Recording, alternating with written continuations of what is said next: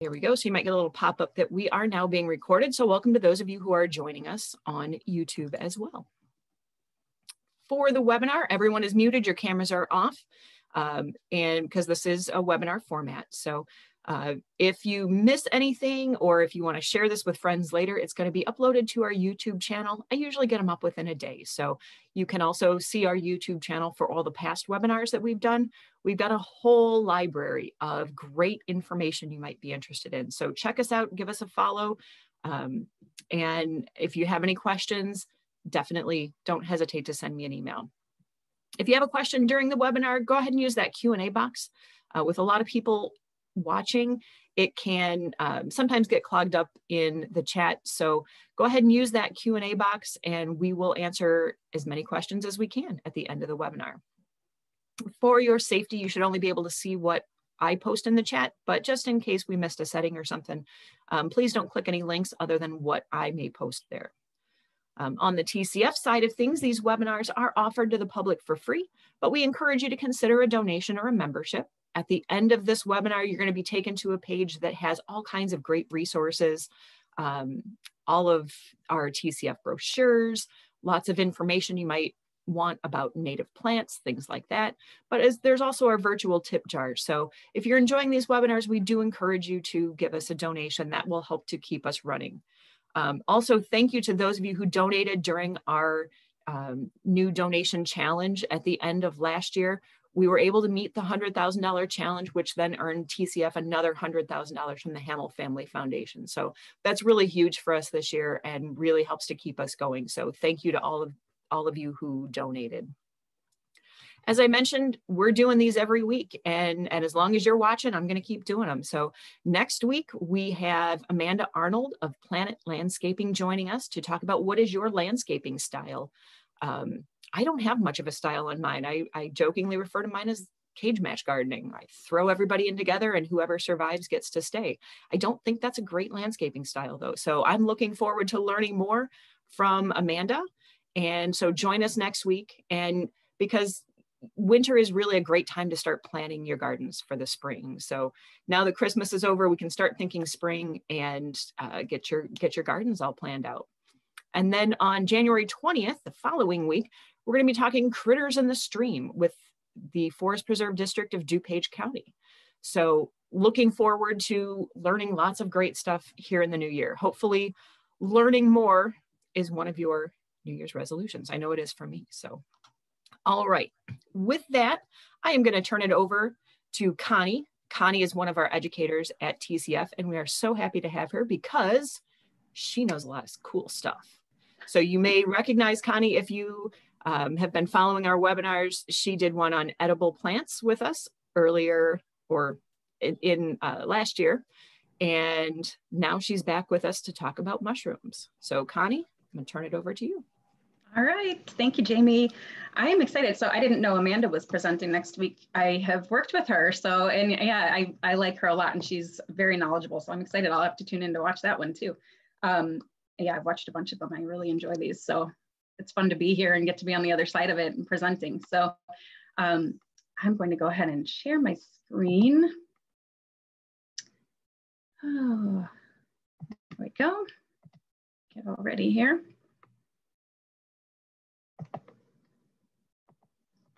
Okay. So as Jamie said, I'm Connie. I'm an environmental educator with the Conservation Foundation. And Today, we'll be talking a little bit about mushrooms.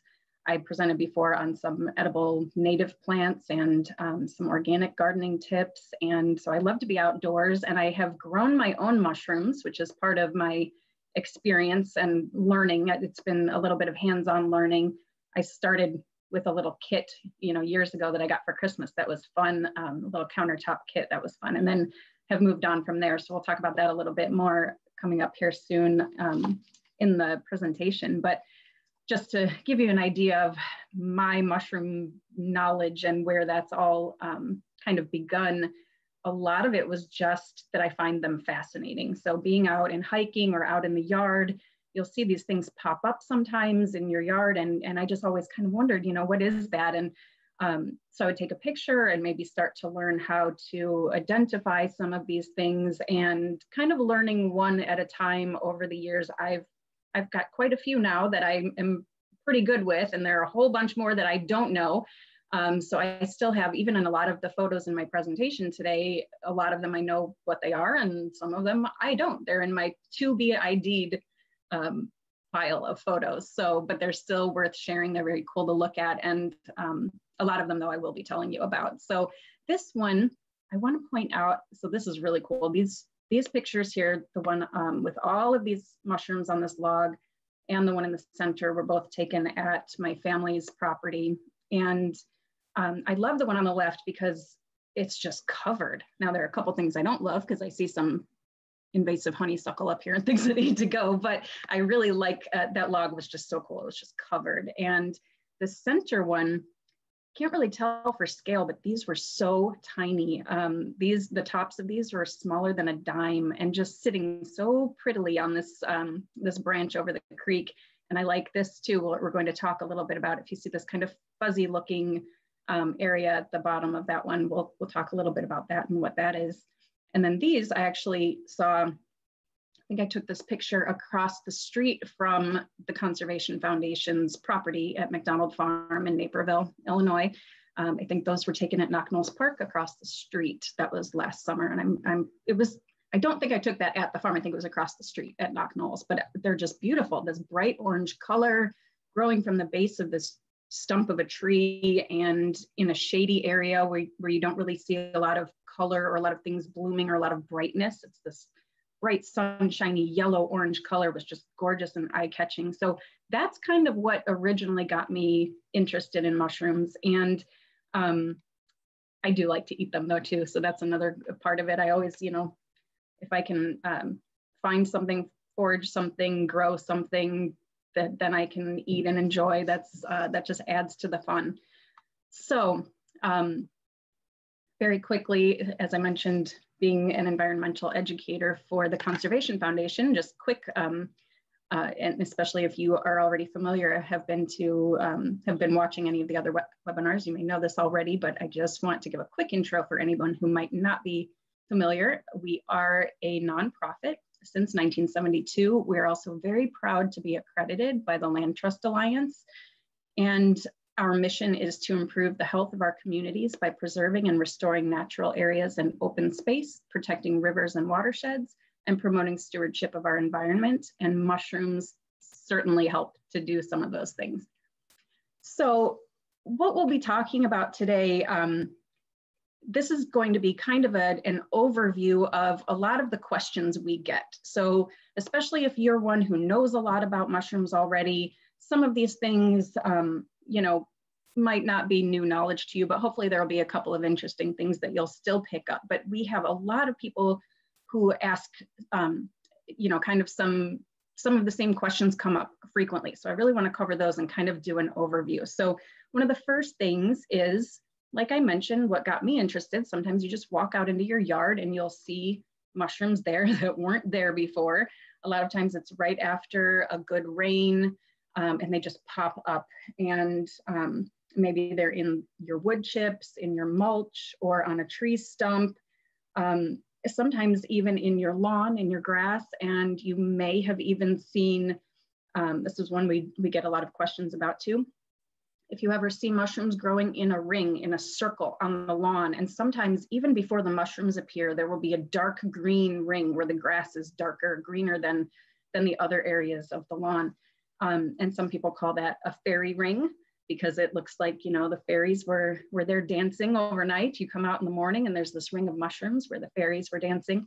Um, and so when we see these things and either they're just really interesting looking or, you know, it, it kind of gets us curious about it. And so um, people start asking questions and wanting to know what this stuff is. And one of the first things that um, that people often worry about is is this okay? Like are these okay to be here? They weren't here yesterday. They just popped up out of nowhere. Is this a problem? And i, I can kind of understand um, why people wonder that sometimes. So one of the first questions is okay i've got these things that popped up in my yard. Do i want them there?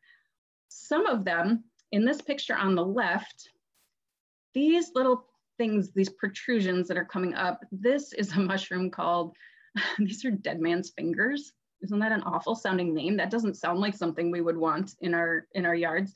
These over here, this is a stinkhorn. That's again something. These don't sound so great. So sometimes people aren't really sure. Is this a good thing? Is this really something I want to have here?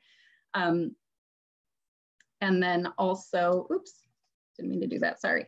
So the other thing too that people wonder about is that little fuzzy stuff that I pointed out in the one picture, the kind of fuzzy looking thing at the um, at the base of the stem of that mushroom, that people see and think it's mold. And um, they'll also think, well, a mushroom is a fungus. And um, if they see what's called mycelium, if they see those white thread-like um, parts spreading out across wood mulch or um, you know, near their plants or at the base of a mushroom, they associate that with mold. A lot of people think that's mold and they, they worry that it could be a problem. We have a negative association with mold. A lot of times people think of black mold or it's dangerous for our health. Um, and so they worry. And then also if, if there are gardeners, anyone who has ever had to deal with um, any type of fungal disease um, in their plants, maybe affecting their tomatoes or like a powdery mildew, uh, people who grow squash, or even a lot of times we see it on Monarda and a lot of our natives and our flowers, um, especially in our area of, in Northern Illinois and with dampness, depending on the weather, um, that can really be conducive to those types of things growing and spreading. So people worry and they think that um, this is not something we want to have growing in our yards. So if we think about the kingdoms of, you know, different groups of living things, we know about the animal kingdom, the plant kingdom, we've got fungi, they are their own kingdom. So it makes sense if a mold is a fungi and mildew is fungi and those are bad, mushrooms are fungi. Eh, I can understand why some people aren't very sure um, if this is a good thing to have around or have in their yard. So mushrooms though are not mold. So it's kind of like a hen is a chicken and a rooster is a chicken, but a hen is not a rooster. So it's kind of, um, that may not be the best example, but you get the idea. So um, a mushroom is not a mold, it's not mildew, it's, it's its own thing. So, but they are in the same family. So it can be understandable. Um, what these mean though, these are actually a good thing. So in terms of why we would want them, I just wanna make sure. Okay, here we go. So on this screen, you can see a little bit more about, there's a tiny little bit here at the bottom, and then this bit here. This is the mycelium I was talking about. And so there are all kinds of um, different cool mushroom and fungi vocabulary words, but we'll, we'll talk more about those. This though you can kind of see in this visual where people maybe would get nervous if they're not sure, they don't know what that is, or they, they worry that that might not be okay to have around.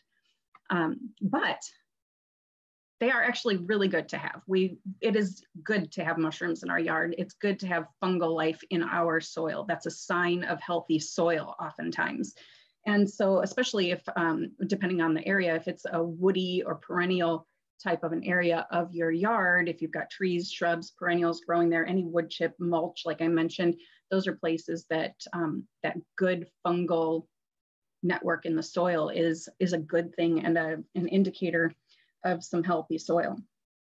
So to understand about healthy soil or about what mushrooms would have to do with that or any, um, any of the relation or association between these things, um, to understand why it's good when we see mushrooms in our yards, we need to understand what their role is in the ecosystem. And they really are, they're part of our composting crew.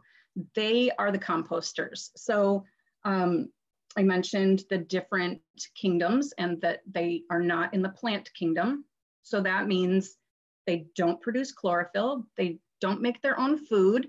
So what do they eat? They need to eat something. Everybody needs some nutrition, needs some uh, vitamins and things to live. Well, they eat organic matter. They eat dead plants and, and other organic matter in the soil um, or to break it down to add to the soil, like a tree stump or those types of things.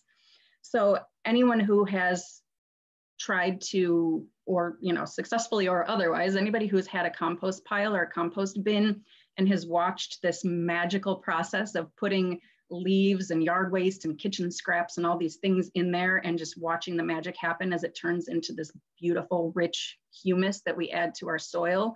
We've kind of watched that magic happen, but it's the, the microorganisms are the magicians. They're the ones kind of, you know, making all that happen behind the scenes. Um, so we really need them. They, it is, um, it is kind of like magic, I think. So bacteria, fungi, and other organisms work together to break down all of that organic matter. Um, and we value soil that's rich in organic matter. But why? Why is that? So if we think about um, what they're actually doing when they're breaking down this organic matter, they're breaking it down into smaller pieces that then can be utilized by the plants around them.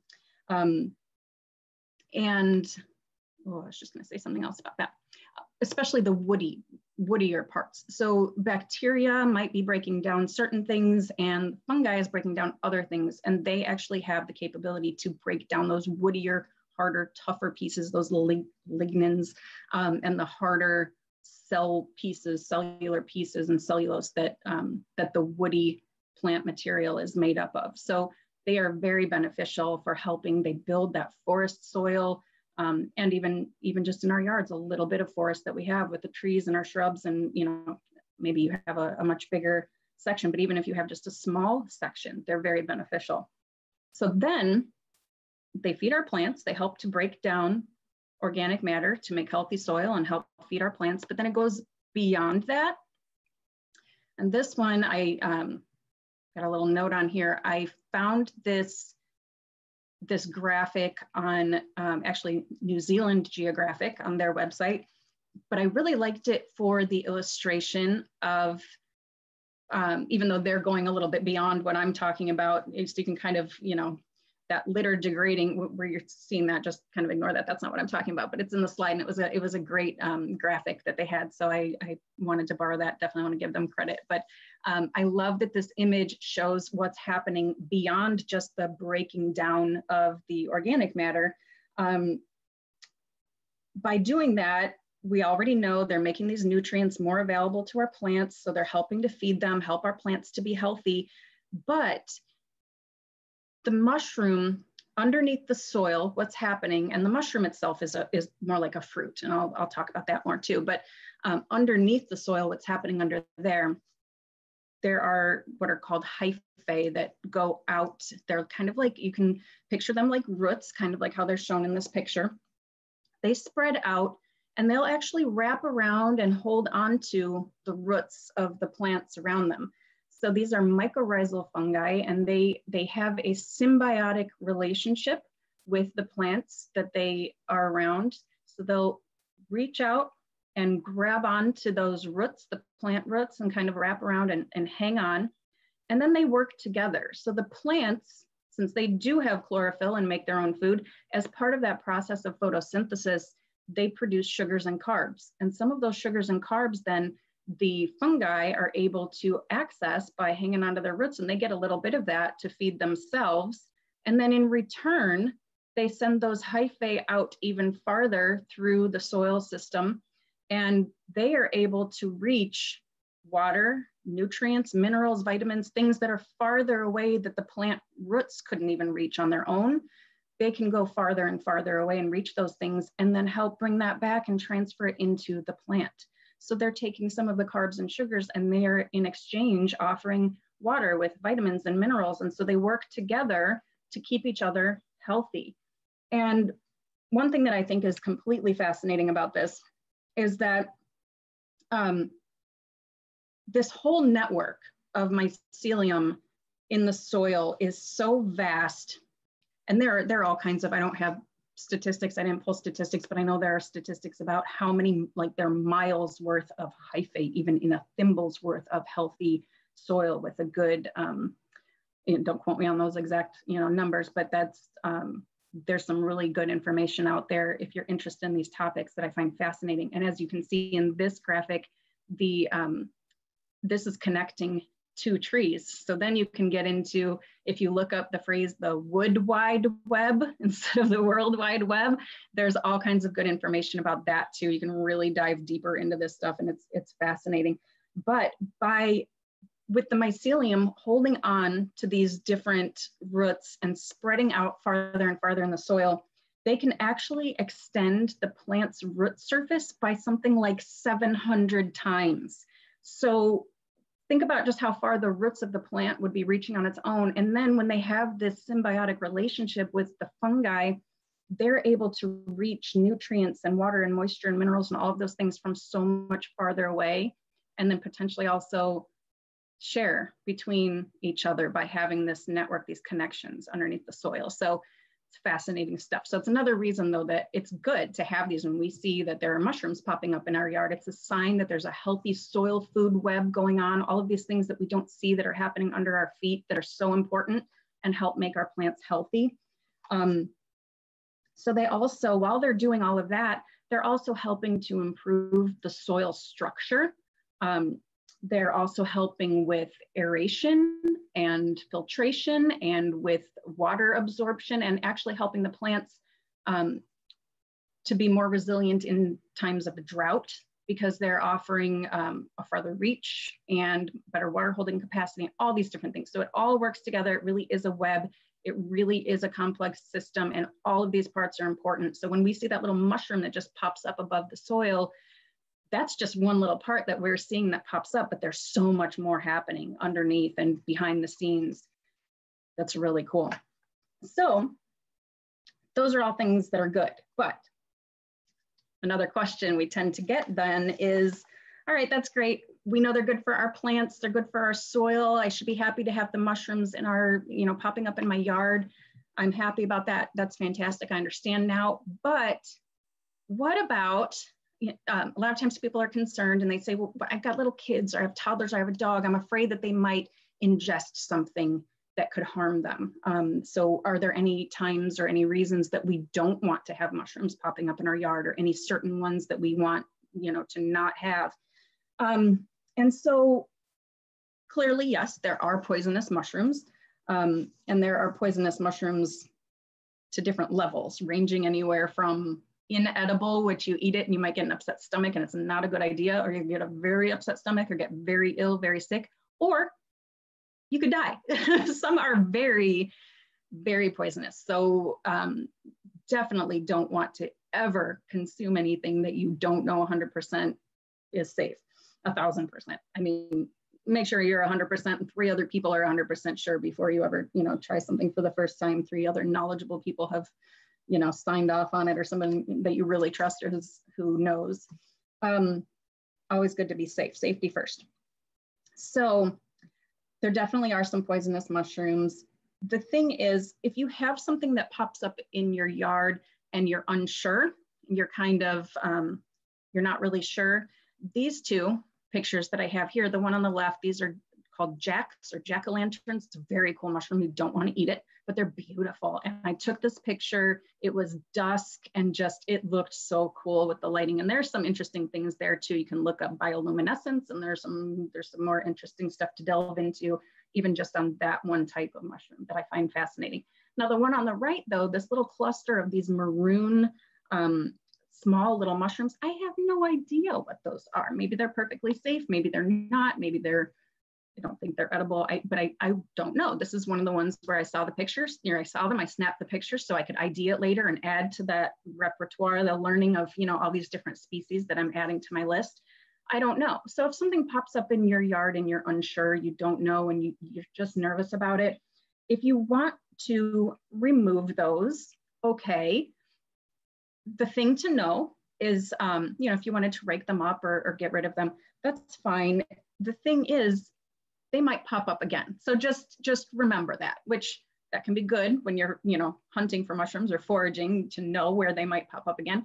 But if there's something that you don't want, um, and this there's no reason for you know to not have these. So i'm not by any means saying you shouldn't have these or if you see them get rid of them. I'm just saying that's one that i know you shouldn't eat. So if there was something that you know you're worried about like that and you wanted to get rid of it that's fine.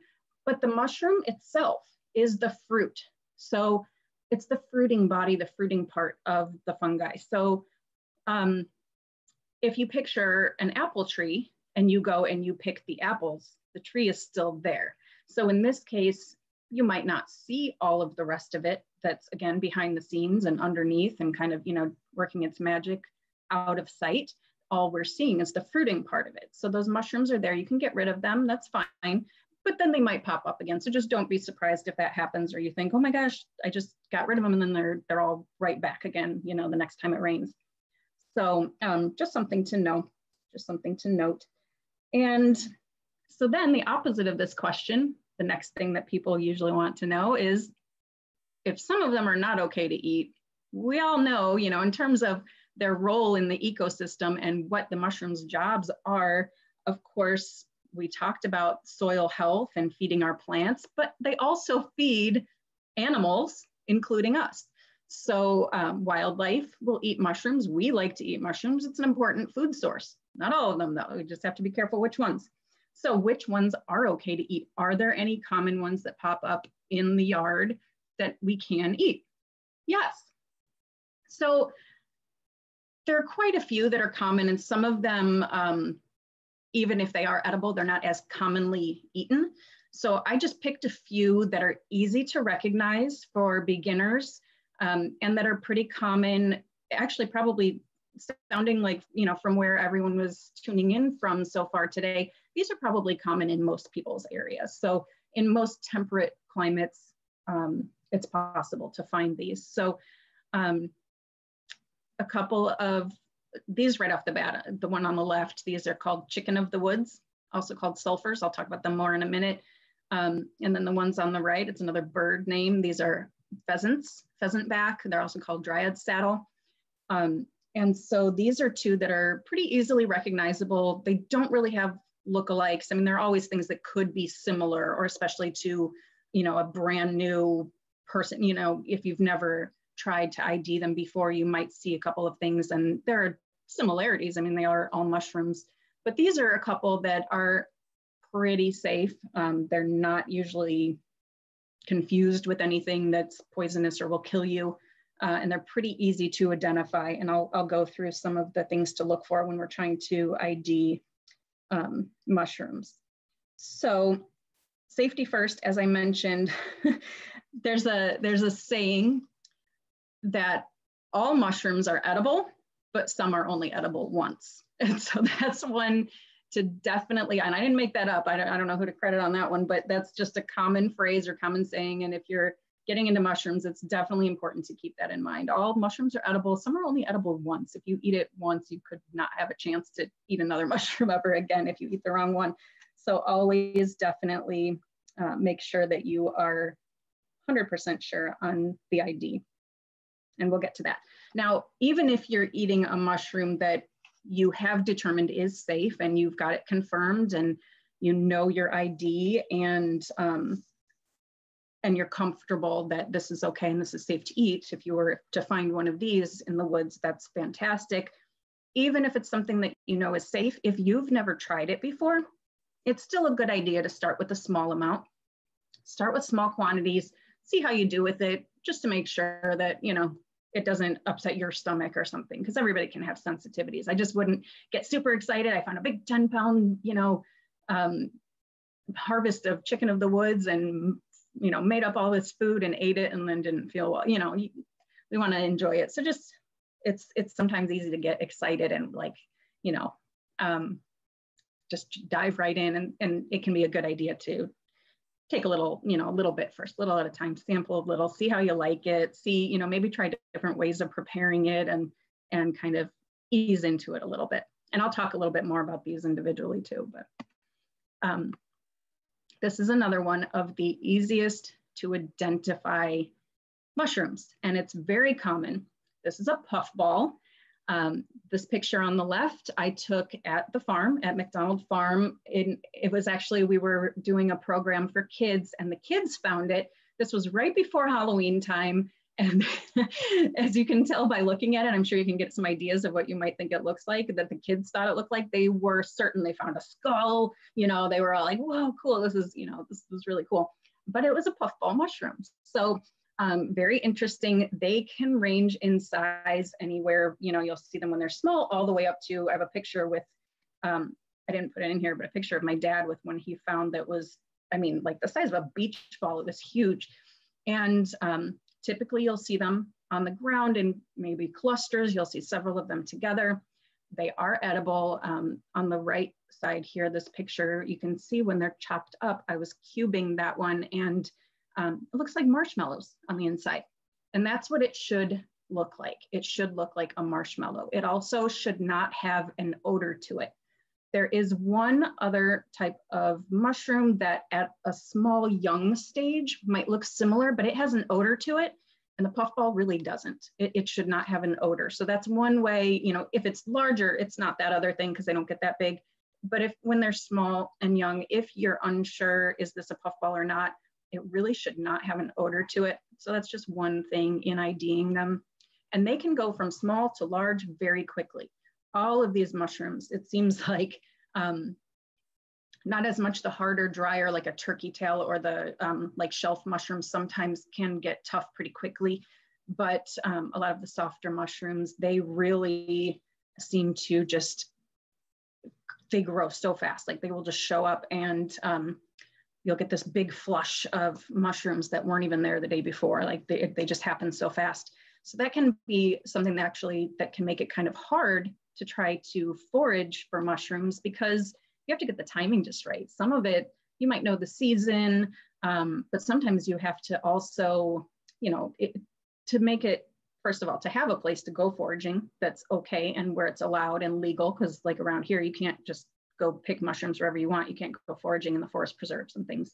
Um, and so if you have them in your yard, that's fantastic. Then maybe you'll see it when it happens. But if you were to go out for a walk, maybe at the back of your yard, and maybe you have a little more wooded area, a little farther from the house, and you don't, you're not in that space as often, you're busy with your work schedule and whatever. Um, you might miss it entirely if you don't know to look for it or you might have something really great out there and by the time you notice it a few it's a few days old and it's already kind of fading or on its way out and not the freshest. So with this one in particular here is a good comparison between what a puffball should look like on the inside and what it looks like when it's old and not so fresh. So the one on the right that darker color you would not want to eat the one on the left is good and so, like I said, those grow on the ground and um, they're pretty common. We seem to find them, like I said, that that one that the kids found was right before Halloween. So it's usually in the in the autumn is when we see those, um, when I see them most commonly. Now I have seen them, a lot of times you'll find older um, puffballs that are dark, faded, and there are different kinds. There'll be small ones on tree branches, and they have a hole in the top. And when you see that, that hole in the top, those, it's because they were, that's how they release their spores. So once they get mature, um, so you might find the outer shell of it with a little hole in the top where it's already been, um, it's already done and it's released its spores to reproduce. So spores are kind of like the seeds of a mushroom, but they're these tiny, tiny, like microscopic, like dust um, for their seeds that help them to spread. And so that's actually another tip too. A lot of times um, if you were if you had a couple mushrooms in the yard that you wanted to get rid of, you might want to, for whatever reason, you decide, you know, just to be safe, just the mushroom part, you're going to pick those. You might want to put those in a bag that isn't porous or doesn't have holes in it so that when you're carrying it away, you're not dropping the spores all along and just leaving them there to make more. Um, however, if you're collecting mushrooms that you do want more of, might be good to use a mesh bag or something with holes in it so that you can carry the mushrooms, but the spores will fall out and stay there on the ground and maybe make more mushrooms for you to have later. So this is the other one I mentioned on that, the first slide about the common edible ones. This one is called a pheasant's back or a dryad saddle. And you can see So especially on these right here, you can kind of see why it would be called a pheasant's back. And maybe if I had this zoomed in a little bit more, you'd be able to tell it almost kind of looks like a feathery pattern on the back of a bird. It's, it's very pretty. These are best when they are small and young. Um, this was on a dead elm tree and, um, but they can also grow on a couple other different types of soft woods. And I've got some Actually, I have a list of some of those too that I can always share that later. Um, I, typically though, a lot of the, most of these that I'm talking about, aside from the puffballs that like to grow on, um, on the ground, the ones that I'm showing here that grow on wood, um, they typically like the oysters and the dryad saddles. Some of these, sorry, I'm kind of tripping over my words there, but basically a lot of them tend to like the same few trees the best, at least in our area. They might grow on other trees in other areas. Um, but here, so we've got elm, ash, um, some things like to grow in softer woods like maple, some like a harder wood like oak, but that's kind of, you've got a handful of trees to look for. And then like when you're talking about um, morels, which we'll talk about more in a second, but if, when you talk about oak, then also apples. You always hear about apples or people finding them in old apple orchards and so it can also be other um, plant families where things are related. If they like one, they might like something else in that same family or similar. If they like hardwoods, they might like other hardwoods. If they like softwoods, they like other softwoods. So that kind of gives you an idea of where to look for some of these things. Um, but so for these, they are best when they're young and small, they're tender like that. When they get bigger, like these on the right side that are larger and more like looking like giant pancakes, they start to get really tough and they're not as good to eat at that point. Um, another way to, to make sure that you have a dryad saddle or pheasant back is the, the fragrance. It smells like a watermelon rind, which is unique. So check for that scent. And there's some other things too we'll talk about in terms of ID in a minute, but just I wanna give you guys some kind of clues about these particular mushrooms and some of the things to look for with them in particular. So chicken of the woods, that was the other one I mentioned before, um, also called sulfur, also called chickens. So if you hear someone say, just says, you know, I found a whole bunch of chickens, this is probably what they're talking about, probably not actual birds and chickens, but um, they're called chicken of the woods because guess what? They taste like chicken. Um, and so they're very versatile. It's a really good, it's a prized mushroom because it's um, so easy to cook with and it has a good friendly flavor that's not, um, doesn't, you know, really deter people from eating it. It's something that a lot of people like the flavor of. So that's a really nice one to find. Um, it's, it doesn't really look like anything else. So when you look at this, it almost kind of looks like some of that um, foam, like the insulating foam that comes in the can and you spray it and it kind of trying to think of what we use that for, maybe like a pond sealant for a pond in our in our garden. Um, but there's a an expanding foam that that's what these kind of remind me of. And that color, that gorgeous orange and yellow color, and just the shape of it. Um, there aren't a lot of others that you'll mistake with this one. So that's that's a really great find. Um, and then of course the prized morel. So I'm gonna move this box here for me. Okay, so morels.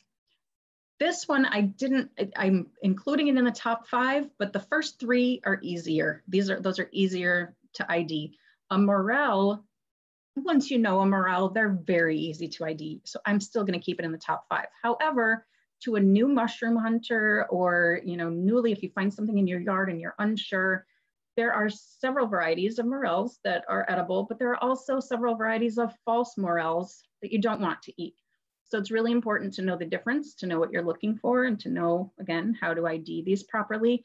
Um, so time of year, May is when they're usually popping up around here. There are actually, um, there's a page I'm on, it's a Morel Watch, where people start reporting when they're finding them. So you can kind of watch the map because they start farther south where it's warmer. And as the temperatures change and come, you know, start warming up in the spring, as they get closer up to our area, it'll tell me when it's almost time to go start looking. And um, so May, uh, a lot of times early to warm up, that's gonna be on a south facing slope where it's getting the sun, it's warming up that time of year. And then again, the types of trees that you're um, going to look around. So these actually were found, this was right near oaks and I'm trying to think what else is over there. They were probably there mostly because of oaks, because the other trees around it, there were some maples and trying to think what else was over there. Um, hickories, hackberries, a few things like that, black cherries. So these are probably here for the oaks. This was an accidental find. And so um, people get very excited when they get, you know, when they find their morels, that's a big deal. And a lot of people don't like to share the location. And I, I still, I have to joke about it, but I kind of kick myself because I taught my dad to ID them, and now he gets them all before I do.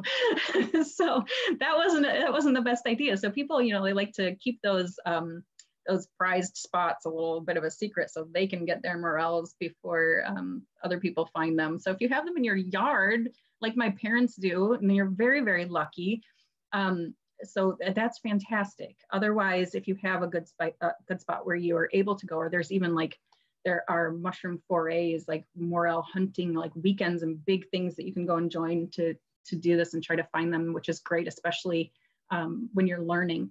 But it's good to know if you can kind of see in this picture. So you can tell the the shape at the top. This is different from a false morel, but they have that really defining look to them. Um, and a false morel can be similar. There are differences, but I can see it, you know, it could be easy to confuse them. So one thing you'll want to do is check the cap. It doesn't hang off, it's not a separate piece. The cap is attached, it's all one piece. And the other thing too, if you think you found a morel that looks like this, cut it in half and the entire thing should be hollow from the tip to the base. The whole thing should be hollow. So there are things like that um, that you learn as you go along and you learn a couple of mushrooms at a time you know whichever one is in season or whichever one you're interested in learning about. And then you just keep learning as you go and and add on. I had to put in this picture on the right here. This is my dog dixie and like I was saying, people get, you know, really proud of their finds. I have to give her credit for this one because my first morel, I didn't actually even find, my dog found it for me. so I don't know if you can see right here in the foreground in front of her. So she got to pose proudly with her first morel. So, you know, there are dogs that sniff out truffles. I'm hoping she'll do this again and help me sniff out some morels. She's a sweet girl. Okay, and then oysters. So this is another one. Um, this on the left, these blue oysters or a gray dove, there are several different varieties, all kinds of different varieties of oyster mushrooms. These can be very common to find in the woods, but you're more likely to find the ones on the right, more of a tan color, a beige, a creamy, or almost even a white. Um, the ones on the left, those are more typical of what you see when you grow your own, which is something else I'll, I'll go over quickly. But um, so because there are different varieties, um, there can be there can be a little bit of confusion. So this is one, again, it's in the top five. Once you know how to ID an oyster, fantastic, then you can do that. But when you're not 100% sure, there can be things that can be a bit confusing about this. Now they are typically in the spring or the fall around this area. Um, and so I found them at both. And they also are one that uh, like a lot of them, you want to get them at the right time because when they get too old, um, they're just not as good anymore. Now these don't get tough, but they they can get insects in them and they can just start to dry up on the edges. And um, so timing is is everything with a lot of these. Once they're they're ready, they're ready, and you want to get them at that prime time. Um, so some of the things that you should know when you're starting to learn to ID different mushrooms are the different methods. So there are a lot of things to take into consideration. Um, first of all, where did you find it? We talked about like the puffballs grow on the ground and you know some grow on wood or on tree trunks. This one, I showed you in the other picture, the pheasant back, the dryad saddle that was growing on the dead elm. This one was growing in the grass. So that can be pretty tricky. But what's actually going on here is there was a, a, log, there was a piece of wood that was underneath all of that, um, all of that grass. So it was just on, in the soil surface there. So this actually was growing on wood, but at first appearance, it looked like it was growing in the grass. So you have to be careful of what is, what is the substrate? What is it actually growing on? Um, another thing you can do is a spore print, which is what's shown on the right. You basically take the cap of the mushroom if it has a cap or, you know, in this, in this case, the underneath part where the spores are, you put it on white paper. There's some instructions how to do that, how long to leave it there. And then the print it leaves behind can help in the identification. What color are the spores? What is the shape? And there, there are different identifying characteristics that can help you make IDs that way, which is really interesting. Um, so where did you find it? When did you find it? Like I mentioned with morels in our area, they're typically coming out around May. So, you know, other things like those puffballs were in the autumn. So when did you find it? That can help with the ID. Um, and then if it is growing on wood, what kind of wood? Some, some different things like different types of wood or different types of trees. Some like more of a hardwood, some like more of a softwood. So if it has a stem, is there a ring on the stem? What if it doesn't have a stem? If you look underneath, does it have gills like this on the left? Or does it have pores like this one? This is a polypore, that pheasant back on the right. Does it have gills or does it have pores or, or something else entirely? There, um, you've got all these different possibilities. Uh, like I mentioned with the morel also, if you, if you were to cut it open, is it hollow? Is it solid? Is the cap attached? Um, so all of these things um, are very important to know. And there are resources to help you. There are books, there are videos, there are forums, there's an app on the on my phone even that helps with ID. Forums, I find there are a lot of very knowledgeable people and you can get a pretty quick confirmation or let you know if you're going in the wrong direction if you post pictures, but you have to know what to post. You have to give them this information, this background information to help people help you confirm your ID. Um, so, it, you know, and especially if it's something that you think you might want to eat, you definitely, like I said, you want to be safe. It's always better to be safe than sorry.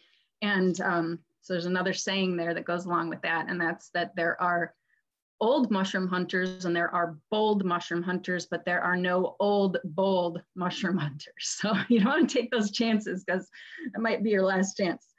Um, so the next thing is the safest way if you are unsure of ID, if you want to make sure, first of all, that you're legally foraging, if you're not allowed to in public areas, public lands, maybe these aren't automatically growing in your yard. Um, maybe they are, but you're unsure of the ID. Sometimes also we want to check on the substrate. You might find a perfectly beautiful edible mushroom, but maybe it's growing on treated lumber or something, and you don't want to consume that because you don't want the chemicals um, from what it's been growing on. So if you want to know that it's safe, you want to be sure of your ID, you want to know 100% what you have um, and that you can eat it, growing your own is a great way to do that. And so there's several different ways you can buy, like I mentioned, I started a long time ago with a little countertop kit that basically was like beginner. You soak it in water and then your mushrooms grow. You get one flush, and that was it. It was just kind of a fun taste of that. Um, then there are kits that go beyond that, where it's a little bit more, you get a little more information with it, maybe a few flushes of mushrooms. It's a little bigger, maybe it needs a little like humidity tent or a little more care, but you get more out of it, kind of your next level in learning.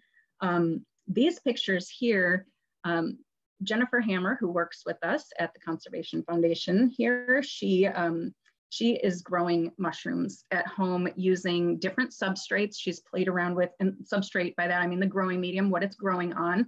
So some are growing on straw, coffee grounds, wood chips, um, oh, what else? Shredded paper, all kinds of different things that you can actually grow mushrooms on. There are um, oysters that will grow on like toilet paper rolls, soggy toilet paper. Like they just, you know, they'll grow on that. So all kinds of different things you can play with there. And you can actually order the spawn and inoculate your own substrate. So she's growing these, um, like in this picture here on the left, look at these beautiful oysters that are coming right out of the holes in the bottom of this bucket that she's got. Um, she's got inoculated the, the growing medium inside of there.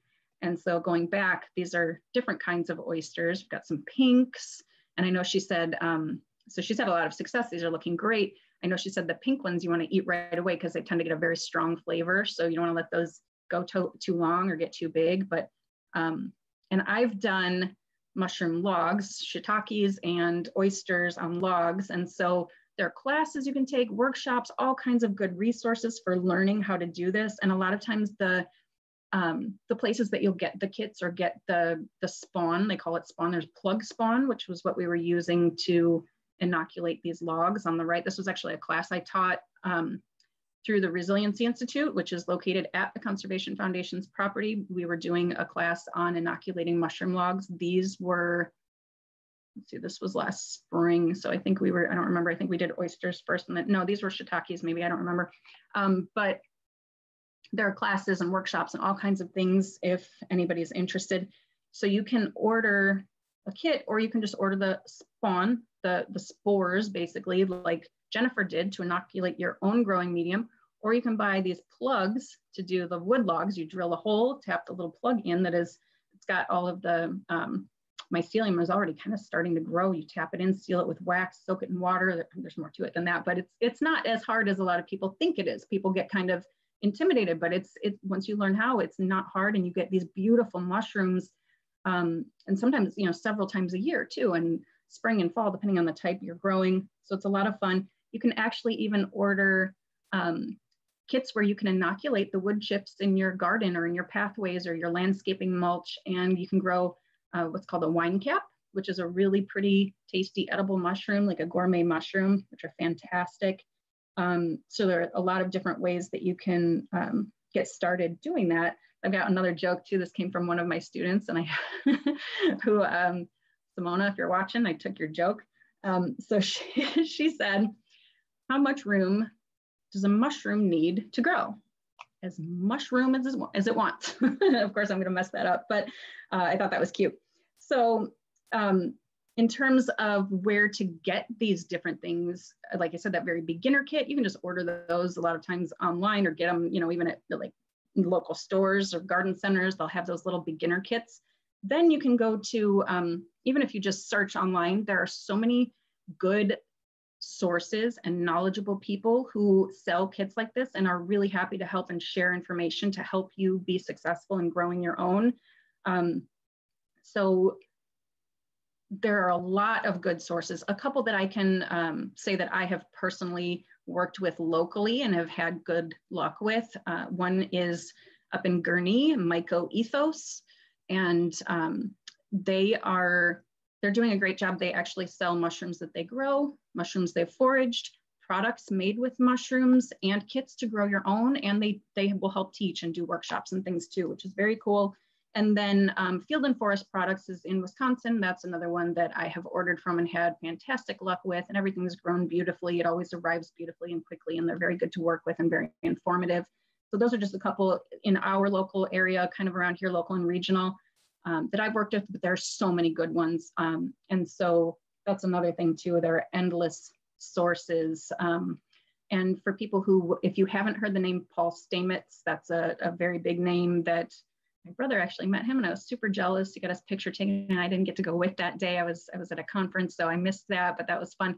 He's a mycologist who uh, a lot of people are familiar with his name because he um, he really talks a lot and teaches a lot and does talks and he has um, sorry, he has uh, books and he, you know, he does a lot to really help educate people. And so there are a lot of resources there and videos and he's a good one to follow. And there are so many more, but that's just a, a big name. If you want um, more to delve into on this topic, that's a, a great resource there. So um, I wanted to finish a few minutes before just so that we could maybe see if I can answer any questions before we're out of time. And I think it's about five till, so probably should have been done at least know, a few minutes ago, but I tried. I wanted to get in a lot of information for you guys, but hopefully now I can answer a couple questions. So I'm going to stop sharing my screen.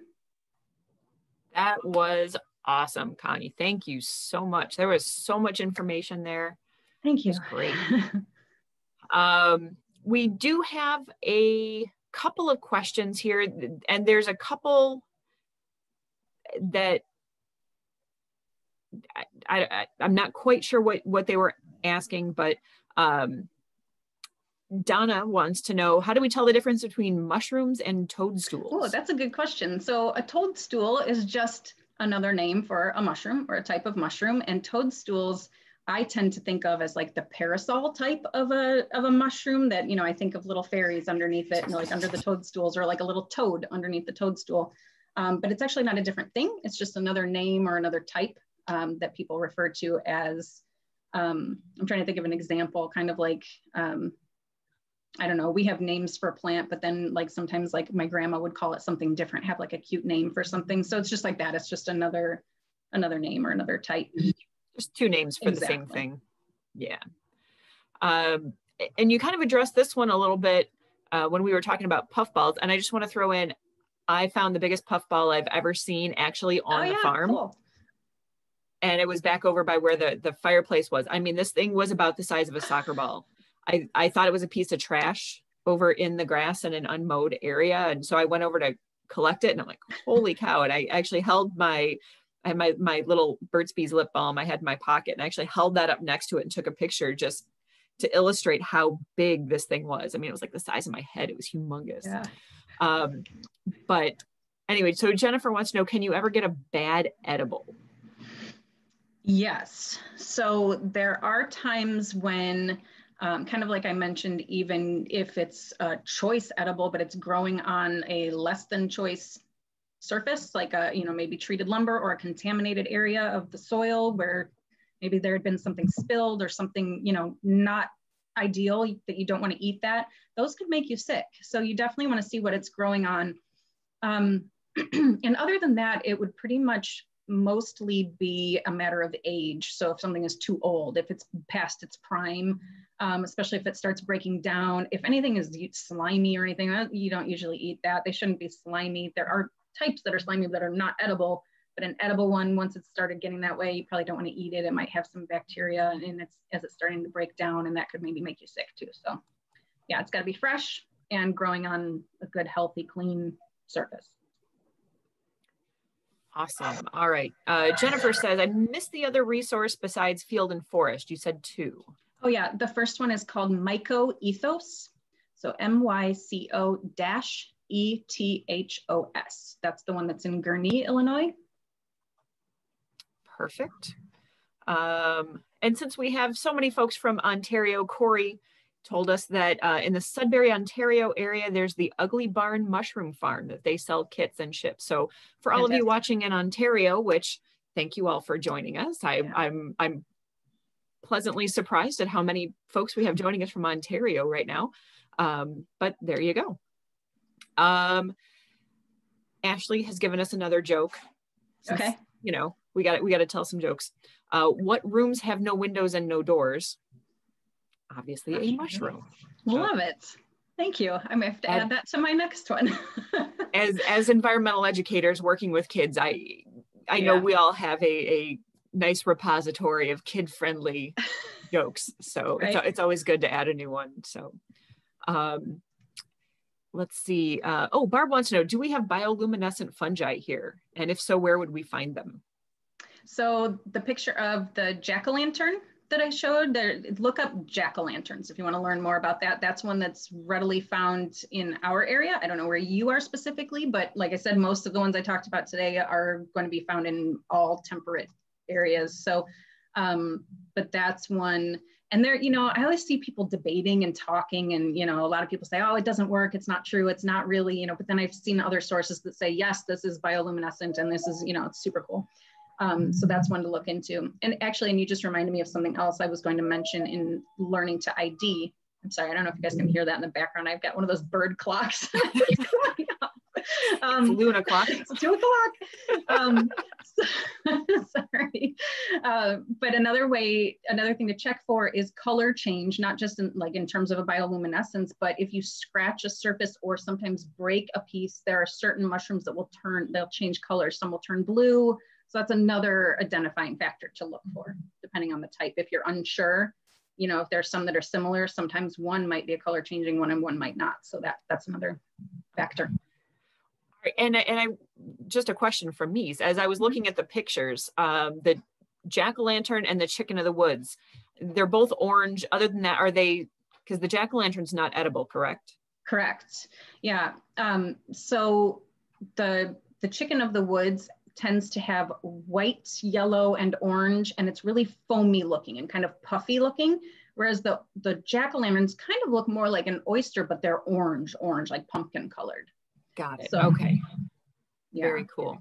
Well, thank you so much. We are we are at two o'clock as your clock announced to us. So uh, we'll go ahead and wrap this up here. And yes, this was recorded.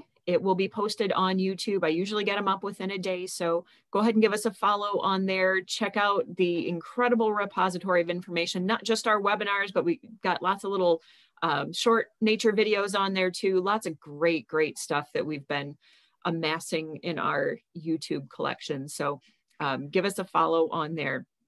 Again, if you have any questions on this, please feel free, drop us an email, get them to me. I can get them to Connie if I can't find the answer for you. So uh, thank you all so much for joining us for our very first webinar in 2021. And um, stay safe, stay healthy, and join us next week for what is your landscaping style. So thanks everybody. Take care. Bye-bye. Thank you.